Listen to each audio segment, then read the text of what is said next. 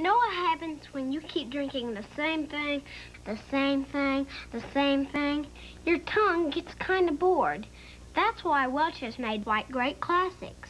White Grape Raspberry, White Grape Peach, and White Grape Cranberry. Now, you might have had peaches and raspberries and cranberries before, but you never had them mixed with Welch's White Grape Juice. Welch's White Grape Classics. Your tongue will not get bored.